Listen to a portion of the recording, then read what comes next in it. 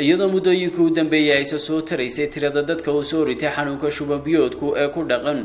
Guud ahaanba deegaanada kala duwan ee gobolkani awdal ayaa waxaa maanta socdaal ku yimid ee gudaha magaalada boorama wasiirka wasaaradda caafimaadka somalilan isagoona wasiirku kormeero kala duwan ku soo maray goobaha lagu xanaanaynayo dadka uu soo ritay xanuunka shubanbiyoodku iyo sidoo kale xabsiga dhexe ee magaaladani boorama oo uu ka dilaacay xanuunka shubanbiyoodka socdaal kadib wasiirka ayaa waxa uu ka warbixiyey ujeedada iyo halkudhiga iyo sidoo kale tirada dadka uu soo ritay xanuunka shubanbiyoodku ee magaaladani boorama iyo sidoo kale tirada dadkii u geeriyooday muddadii xanuunkaasi uu ka jiray magaalada boorama ee xarunta gobolka awdal. Waxaanu ku jiraa kormeer iyo kurgelid xaaladda caafimaadda gobolka. Waxaan saaka soo booqannay oo soo marray cusbitaalka weyn. Iminkana waxaa nimid jeelka.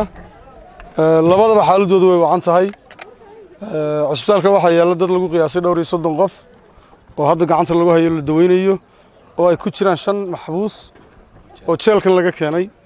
Jeelka iminka maxaabiistii waanu marray xaaladooda caafimaad ama xaaladda shubanbiyoodka aad bay uga ladanyihin kolleybana wuu soconayaa kormeerka iyagu.